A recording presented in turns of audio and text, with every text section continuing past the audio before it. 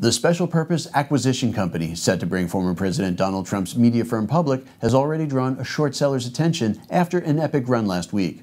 Iceberg Research said in two tweets Monday that it was betting against Digital World Acquisition Corporation, the blank check company that announced last week plans to merge with Trump Media and Technology Group. Iceberg posted a series of tweets saying that they are short and that Trump has all the leverage. The tweets offered a word of caution to retail investors, specifically suggesting that Trump will renegotiate at the expense of retail holders after the market cap of the stock soared past the $875 million that the SPAC and Trump media venture agreed to.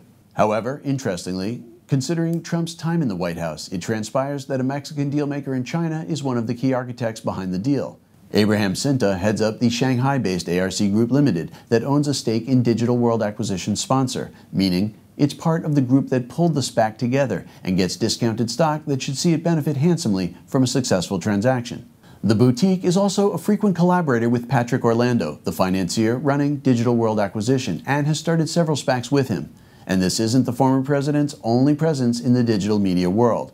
Shares of Creatd, a tech and digital content company, soared 68% on Monday after announcing it would sell NFTs of former President Donald Trump.